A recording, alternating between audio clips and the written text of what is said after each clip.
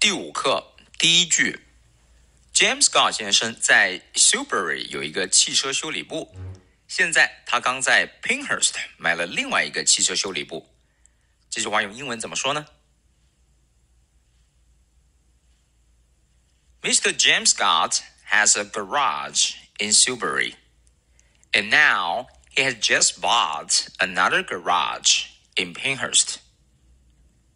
在背诵这句话的时候啊，特别注意一个词叫 garage，它可以表示汽车修理部，当然也可以指车库的意思。garage，注意英国人呢会把这个词啊发成 garage，而美国人发的是 garage。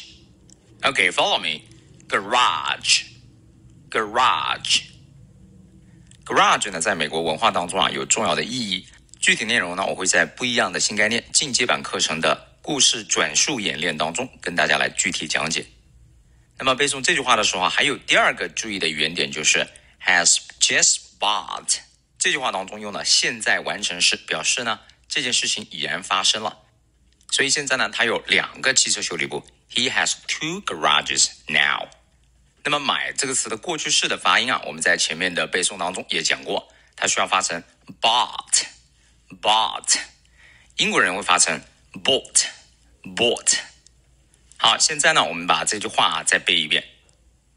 Mr. James Scott has a garage in Silbury, and now he has just bought another garage in Pinhurst. 第二句，Pinhurst 离 Silbury 啊只有五英里，但是呢，Miss Scott 无法为他的新的汽车修理部配备一部电话。大家回想一下，用英文如何来表达这句话呢？提示大家配备电话，我们可以用 get a telephone for 这样的一个表达。Pinhurst is only five miles from Silbury, but Miss Scott cannot get a telephone for his new garage. 那么在背这句话的时候要特别注意，离什么地方有多远，我们可以用多少多少距离 from 什么地方。比如你说你家离学校有五公里，怎么说呢？？My home is five kilometers from school。发音上要注意的地方，第一个是 miles，miles，那个 l 是一个 dark l，也就是跟在元音后面的一个 l。这个 l 呢，在美式英语当中呢，听上去啊，好像会有一个 o 这样一个音在里面。我们再来一遍，mile。再举个例子啊，比如说牛奶那个字怎么说呢？milk，milk。 我们很多中国同学喜欢发成 milk milk。I like drinking milk。正确的发音呢就是 I like drinking milk。另外这句话当中有两个连读要注意的，第一个是 is 跟 only 会构成一个连读，is only is only is only，快一点就是 is only。第二个连读是配备一部电话，叫做 get a telephone。 如果读的超级慢速，就是 get the telephone。要特别注意的是，get 后面的 t 呢，由于夹在两个元音之间，就会浊化成 a little bit like d sound。这种 t sound 叫做 flap t，所以呢，合起来就是 get a telephone。好，我们把这句话再背一遍：Pinhurst is only five miles from Silbury, but Miss Scott cannot get a telephone for his new garage。第三句，所以他买了十二只鸽子。So he has just bought twelve pigeons。注意，买了表示事情已经发生了，我们要用现在完成时 has bought。那么这句话的发音当中呢，要注意的地方是 twelve，中间呢有一个 dark l，twelve。同时呢，最后一个尾音 v 上齿要咬下唇，然后震动声带，发出一个主辅音 v，连起来就是 twelve。鸽子这个词呢叫做 pigeon，最后有个日这样的一个音 pigeon，pigeon。信鸽在英文当中怎么说呢？很简单，叫做 homing pigeon，homing pigeon。home 在这里呢有回家的意思。还有一种鸽子呢，叫和平鸽。那么和平鸽的英文是什么呢？叫做 dove，d o v e。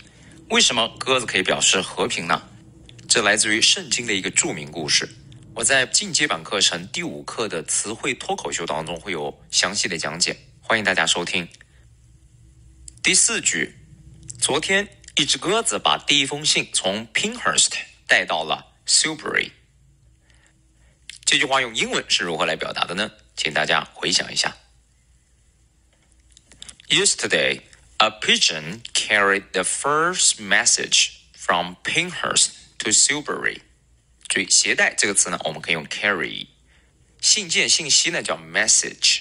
当然了，一般指的是比较短的信息，可以叫 message 啊。比较长的信呢，我们当然还是用 mail 或者说 letter。From one place to the other，就是从一个地方到另外一个地方。比如说，你把一个大箱子从一楼扛到五楼。因为啊没有电梯啊，这句话怎么说呢？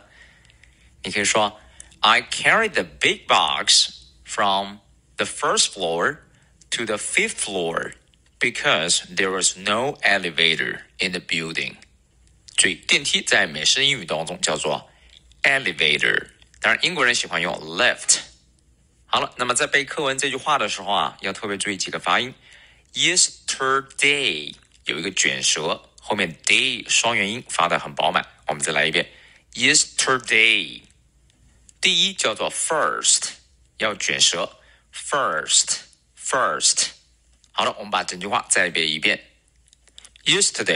a pigeon carried the first message from Pinhurst to Silbury。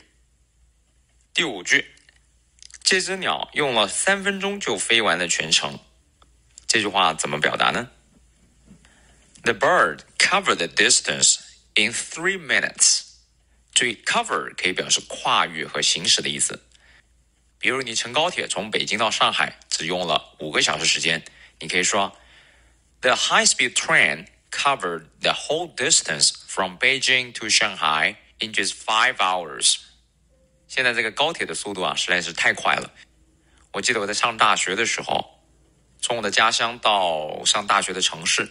需要十五个小时，乘坐的是那种绿皮火车，而现在呢，高铁只需要三个小时。The high-speed train can cover the whole distance in just three hours. It was way, way faster than before. 好，接下来呢，我们看看这句话当中需要注意的发音。第一个就是 bird，注意了要卷舌，bird。第二个要卷舌的音叫做 cover，cover。大家特别注意，就是 cover 这个啊的音啊，不要发太重，不要发成 cover cover，读成 cover。就比如说爱情那个词叫做 love，不要读成 love love。有些同学向这个女生表白的时候是这样说的：“崔花，I love you。”如果表白的是个美国人的话，他永远是这样说的：“I love you，崔花。”你注意，他读的是 I love you 啊，所以 cover 我们不要读成 cover。大家再跟我来一遍，cover，covered。另外，三分钟叫做 three minutes。三这个数字啊，是英文当中比较难发的一个音，很多中国同学会读成 three three。它要怎么发呢？第一个 th sound 要咬舌头，r sound 要卷舌，最后 e 是一个长音，所以你读成 three。我们再来一遍。three, three, one, two, three，千万不能读成 one two three。当然，如果是印度人来读的话，会读成 one two three。好，最后我们再把这句话背一遍：The bird covered the distance in three minutes。第六句，到目前为止。，Scar 先生从一个汽车修理部向另外一个发送了大量索取备用零件的信件以及其他紧急信函。这句话比较长，大家想想英文该如何表达？Up to now, Miss Scott has sent a great many requests for spare parts and other urgent messages from one garage to the other. 大量的，我们可以说 a great many。Great，注意了这个词的发音，r 要卷舌，后面有个 a 双元音，非常的饱满。Great， 备用零件呢叫做 spare parts，spare 要卷舌，parts 也要卷舌。我们再来一遍，spare parts。紧急信件呢叫做 urgent messages，urgent，r 也要卷舌。再来一遍，urgent。另外一个叫做 the other，注意这里的 t h e 要发成 the，为什么呢？因为后面的 other 是一个元音打头的词。